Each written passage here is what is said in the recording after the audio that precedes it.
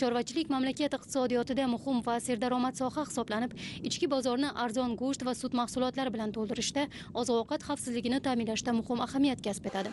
So'nggi yillarda sohaga qaratilgan e'tibor samarasida chorva nasli yaxshilanmoqda. Undan olinayotgan mahsuldorlik salmog'ini oshirishga erishilyapti. O'zbekiston respublikasi vazirlar mahkamasining ikki ming o'n to'qqizinchi yil yigirma uchinchi oktyabrdagi toshkent viloyati ohangaron tumanida chorvachilikni rivojlantirish to'g'risidagi qarorida umumiy qiymati yetti yuz oltmish milliard so'mlik o'ttizta chorvachilik loyihalarini hayotga tatbiq qilish ko'rsatib o'tilgan. Hujjatga ko'ra qoramolchilikni rivojlantirish bo'yicha qiymati yetti yuz yigirma ikki milliard so'mlik qirq to'rt ming besh yuz bosh molga mo'ljallangan o'n yettita. Qo'y va echkichilikni rivojlantirish bo'yicha o'ttiz sakkiz milliard so'mlik o'n besh ming bosh qo'yga mo'ljallangan o'n uchta loyihalar amalga oshadi. Tashkil etilgan klasterlarimizga yigirma bir ming besh yuz ellik gektardan ortiq e, ekin maydonlari hamda yaylovlar ajratib berildi. Klasterlarimiz berilgan Э, ekin yerlariga chorva oziqlanish uchun ikki ming sakkiz yuz ellik gektar yerga beda hamda e, ikki ming bir yuz yigirma bir gektar yerga silitsiu makkajo'xori hamda boshqa oziq ekinlari ekildi tashkil etilgan e, qaramochilik klasterlarimiz tomonidan niderlandiya germaniya hamda daniya davlatlaridan naslli qora- qoramollar keltirish bo'yicha e, koreya rossiya tojikiston davlatlaridan naslli qo'ylar keltirish bo'yicha shartnomalar imzolandi. Shohruh fermer xo'jaligi tomonidan e, bir ming yigirma bosh hisori qo'ylar keltirildi. Agar loyihalar to'liq ishga tushadigan bo'lsa tumanimizda yiliga to'qson sakkiz ming tonna sut hamda o'n ming sakkiz yuz tonna go'sht ishlab chiqarish imkoniyati bo'ladi. Tumandagi yirik loyihalarning birini qurama qorabayirlari mas'uliyati cheklangan jamiyati o'z zimmasiga olgan edi. Chet eldan mol olib kelsak o'zbekistonimiz shu mollarni zotini yaxshilasak degan niyatda mana shu hozir birinchi bizni deboshalari boshlandi. Bir yuz oltmish bosh mol olib keldik. A bu yerdan angus zotli mollarda. Bular go'sht asosan go'sht beradi. Guvoh bo'lyapsizlar juda yam yaxshi bizga moslashib ketdi. Ko'pchilik endi o'ylaganidiki qanaqa bo'lar ekan nima bo'lar ekan oradagi masofa mana yevropa bilan bizni oramizda besh ming olti ming yetti ming kilometr masofa bor. Qanday bo'lar ekan deyishuvdi lekin juda yam yaxshi. Besh yuzta olib kelamiz bu yil. Osiyo taraqqiyot bankini loyihasi bo'yicha besh yuzta kelish kerak lekin biz buni bir yarim mingta sonni yetkazamiz buni. Bizga mana hozir uch yuz o'n uch gektar suvli yer ajratildi ikki yuz gektar lar yeri ajratildi sakkiz yuz sakson gektar yaylov ajratildi. Hamma ishlarimiz yaxshi mana hamma qarayapmiz mana hozir biz ekib qo'ydik. U zotli mollar shunaqaki qirq gradus issiq va qirq gradus sovuqqa chidaydigan mollar. Ishlab chiqarish bo'ladi. O'zimiz yetkazib beramiz xalqimiz dasturxoniga. Mutaxassislarning qayd etishlaricha aberdin angust qoramol zotining afzalligi shundaki u o'zining shirali mramor go'shti shuningdek serpushligi irsiy belgilarni mustahkam o'zida saqlab qolishi va har qanday iqlimga tez moslashishi bilan alohida ajralib turadi. Buqalarning tirik vazni 750-800 kg sigirlar esa 500-550 kg dan oshadi. Belgilangan ratsion asosida parvarish qilinsa qoramolning bir kunlik o'sishi 700-800 grammni buqalari bo'rdoqiga boqilganda 15-16 oyligida 420-460 kilogrammga yetadi. Yana bir jihati shundaki uning so'yim chiqimi 58-60 foizini tashkil qiladi. 1 kilogramm semirish uchun 6,5 ozuqa birligi sarflaydi. Kelajakda xo'jalik tomonidan olib kelingan chorva mollarining ikki yuz boshi aholi xonadonlariga 3 boshdan shartnoma asosida berilishi shu orqali 70 ta xonadondagi ishsiz fuqarolarning bandligi ta'minlanishi ko'zda tutilgan. Bir yaqin 3 kilometrdan quduq kazlab mana shu yerga suv olib kelganmiz. Ta'lim yerlardan bir o'ttiz gektar e, ekkanmiz mana shu mollarimiz uchun. Doktorlarimiz bor mana shu yerda. Ularni ham mana shu joylari hammasi sharoitlari yaratilgan. Har kuni nazoratda sun'iy urug'larimiz kelgan hozir mana shu urug'lantirish boshlangan. Fermalarimiz hozir qurilmoqda. Ish o'rinlari yanada ko'payadi bu yerda. Sun'iy qochirish o'sha alohida xonalari mavjud bo'ladi. Э, sut sog'ib olish xonalari mavjud bo'ladi. Jihozlar olib kelamiz albatta. Ayollarni ishga qabul qilamiz. Qayta ishlash bo'ladi. Ayni kunlarda tumandagi barcha loyiha tashabbuskorlari tomonidan chorvachilik komplekslarini qurish ishlari jadal olib borilyapti. Bunday majmualarda qishlovni soz o'tkazish sut sog'ib olish sun'iy urug'lantirish chorva mahsulotlarini qayta ishlash uchun zarur sharoitlar yaratiladi.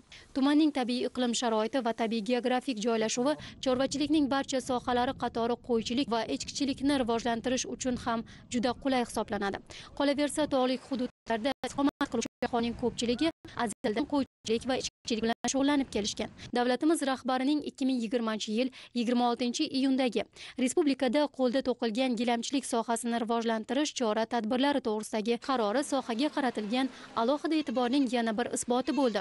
Hujjatda ipak va jundan qo'l gilam to'qish sohasini rivojlantirish orqali yoshlar ayollar va kam ta'minlangan oilalarni ish bilan ta'minlash ko'zda tutiladi. Meranoz qo'y va angor zotli echkichilik bilan shug'ullanuvchi xo'jaliklar faoliyatiga imtiyozlar tatbiq qilindi. Ularga amaliy yordam ko'rsatish belgilab berildi. Qarorda sotilgan junga subsidiyalar berilishi fermer xo'jaliklarimizda juda katta qiziqish uyg'otdi. Qarorni ijrosini ta'minlash maqsadida bugungi kunda yigirmata merinos qo'ylar hamda angor echkilarini tashkil etish bo'yicha loyiha tashabbuskorlarini biz tashkil etdik. ikki ming yigirma birinchi yilning oxiriga borib tumanda o'n mingta merinos zotli qo'ylar hamda besh mingta angor zotli echkilar keltiriladi. Tumanning pistalisoy hududidagi asli jumagul chorvadori fermer xo'jaligi qoramolchilik qo'ychilik echkichilikka ixtisoslashgan bo'lib undagi chorva mollari asosan mahalliy zotlardan iborat bo'lgan. Oldinlari ham ma'lum muddat angor zotli echkini parvarish qilgan fermer bugungi kun talabidan kelib chiqqan holda o'zining yangi loyihasini taqdim etdi. Ishchi guruhi tomonidan ma'qullangan loyiha bo'yicha fermerga yaylov uchun yer ajratilgach biznes rejada ko'rsatilgan muddatda chet eldan zotdor echkilar keltirildi. Qo'shni davlatdan olib kelganman. Mana hozirgi shu kunni soni bir yarim mingta bo'ldi. Yana bundan ko'paytirib uch mingtaga yetkazishga harakat qilaman mana endi bizga bunda sharoitlar yaxshi bo'lyapti. Joylarimiz keng. Nima hamma imkoniyatlar yordam qilyapti. Biz minnatdormiz bunga. Eksport qilamiz yunlarni mana xudo xohlasa. Yana yildan boshlab. Hozir ham uyda bir tonna yun turibdi. Mana bir kilo yundan o'nta ro'mal qiladi yeb qilinadi bundan. Ikkita uchta ayollar bu yerdan shuni to'qiyapti. Qishma band. Buni rossiyaga eksport qilyapti ro'mol iplarini biz hozir o'zimiz uyda sex quryapmiz bu bilan yana o'n o'n beshta odamni ishma band qilaman.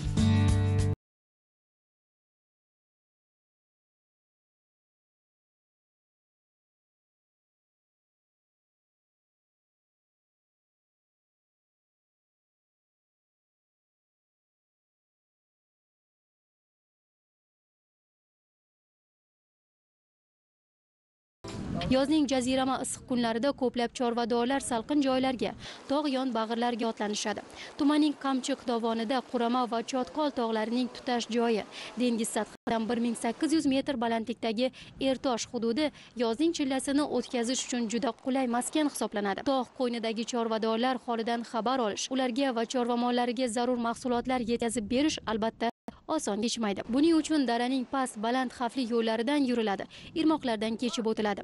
Biz chorvamizni yozgi yaylov uchun shu yerlarga olib kelamiz. May oylarida uydan chiqib kelsak shu sentyabrda o'nlarida shu qaytamiz uyga. Bu yerlar o'n besh kundan keyin sovuq tushadi bu yerlarga. Qor tushadi sovuq tushadi yana qishki yaylovimizga qaytib ketamiz. Bu yerlar salqin birinchidan ikkinchidan qo'zi yaxshi o'sadi e, uchinchidan mana juni ham yaxshi ko'tariladi. Har doim yomg'ir yog'ib toza bo'lib chang bo'lmaydi bu yerlar. Bu yerni nomi qizilcha deb ataladi qizilcha deb. Yilqim ham shu yerga keladi. Hozir o yilqilarim turibdi mana unda mana hammasi. Mana chorvamiz qo'yimiz qo'zi tez yetishadi. Aqchasay qishloq deydi mo'minaobod mahallasi. Kuzda tushib ketamiz qor tushishi bilan u yerlarga. Yana qishi bilan uyda pichanni yegizdirib uyda tug'dirib boshqa qilib yana may oylari ko'klam tomon shu yerlarga qaytamiz yana bu tumandagi xolto'rayev oybek fermer xo'jaligi ko'p tarmoqli hisoblanib zotdor qo'ylar aynan mana shu joyda parvarish qilinyapti. Gap shundaki fermer ancha yillardan buyon meranos zotli qo'ychilik bilan shug'ullanib kelgan. Endilikda uning zotini yaxshilashga sonini ko'paytirishga mahsuldorligini oshirishga harakat qilinyapti. Qo'yning jun va go'shtini sifati va miqdori esa jonivorlarni yaxshi sharoitlarda asrash boqish parvarish qilish texnologiyasi bilan chambarchas bog'liq. Veranos qo'zi bu ikki ming mana shu yigirmanchi yil mart oyidan birinchi martlardan tug'ilgan. Bu suvni urug'lantirishdan tug'ilgan bu qo'zilar stavropoldan urug'ini olib kelganmiz. Eng aldi qo'zilar hozir mana shu urug'langan qo'zilar tez semiradi ham jun bop bular. Yarim mayin jun bular.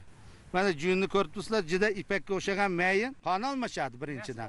Ha nasllar ikkinchidan mana juni yanada mayin bo'ladi yanada. Zoti toza bo'ladi. Keyin o'zimizni mana shu e, tabiatga ham moslashgan bo'ladi. Berka urganmiz. Hozir nomeridan shuni qaysi vaqtda tug'ilgan hammasini onasidan bari daftarga yozilgan hammasi. Qayd etilishicha asli kelib chiqishi avstraliya davlati bo'lgan meranos qo'ylari bugun dunyoning ko'plab mamlakatlarida boqiladi.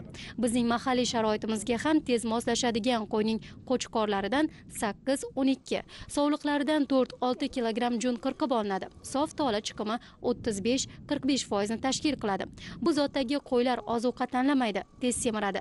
Kasalliklarga chidamli bo'ladi. Sovxoz kolxoz paytida bu qo'y yigirma mingtagacha bo'lgan bu qo'ylar keyinchalik qarovsiz e'tiborsiz bo'lgani uchun yo'qolib ketdi bu qo'ylar o'zim bir ikki yuzta uch yuzta olib kelganman.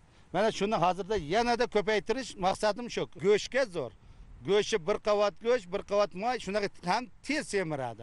Mana shu juni juda mayinligi uchun gilamlar chiqyapti. Terisi ham pishiq mayin. Uncha munchaga kasal bo'lmaydi. Keyin chorvadorlar ham uncha qiynalmaydi. Qora qo'yni qo'ysangiz hali tabiatni mana o'tini tez tepkalab ketaveradi bu juda sekin yayiladigan qo'y. Qo'zini yaxshi beradi to'lda. Yuz boshga bir yuz yigirmatadan qo'zi beradi. Hozir bir to'rt yuzdan oshdi hozir bu qo'y. Keyingi yil yana bir besh olti yuz yetti yuzga boradi. Biz o'n mingtaga chiqizamiz bu qo'yni oq qo'yni junini qayta ishlab turib mana gilamlarini chiqizdirish chetga eksport qilish bularni ham ish o'rnini e, ochish shularni xudo xohlasa yana yo'lga qo'ymoqchiman. Mazkur xo'jalikda naslli qo'ylardan tashqari mahalliy qo'y zotlari yangilanmoqda. Qorabayir otlari ko'paytirilyapti. Yilqichilikda qorabayir zotini tozalash niyat qildik. Ikki yuz boshga yilqim yetdi qorabayir yilqi. Zotini e, chetdan akib zotini tozalayapman hozir. Beshta oyg'ir olib keldim hozir chetdan. Qirg'izistondan yana bir ha, sog'adiganni olib kelaman hozir. Hozir shu yuvash ularda sog'adigan qilib qimiz tayyorlab keyin xudo xohlasa tuyadan akib qimron ham tayyorlab yetkazib bermoqchiman xalqimizga и go'shtni yanada go'sht mahsulotlarini ham texnologiyani yanada bir olib kelib qayta ishlash texnologiyasini olib kelyapman hozir tog'dagi salqin joyda irmoqlar bo'yida ko'plab fermer xo'jaliklarining o'nlab otarlari joylashtirilgan. Bu yerda aholi o'zini o'zi band qilgan holda qo'y va sut yetishtirmoqda asalarchilik bilan shug'ullanmoqda o'zbekiston respublikasi veterinariya va chorvachilikni rivojlantirish davlat qo'mitasi toshkent viloyati hokimligi mazkur idoralardan iborat guruhlar chorvadorlar holidan xabar olishmoqda. Ularni issiq yotoq bilan ta'minlash choralarini ko'rishgan. Shuningdek mutaxassislar chorva naslini yaxshilash bo'yicha tavsiyalar berishyapti. Cho'ponlar bilan profilaktik suhbatlar o'tkazilmoqda. Kasalliklarning oldini olish zarur jihozlar dori darmon tibbiy buyumlar yetkazib berishda amaliy yordam ko'rsatilyapti. Ma'lumotlarga qaraganda tumandagi chorvachilik loyihalarining amalga oshirilishi uchun 2020 yil 1 avgust holatiga tijorat banklari tomonidan 39 milliard so'mlik kreditlar ajratildi. Bunday sa'y harakatlar natijasida ming nafardan ziyod ishsiz aholining bandligi ta'minlanadi.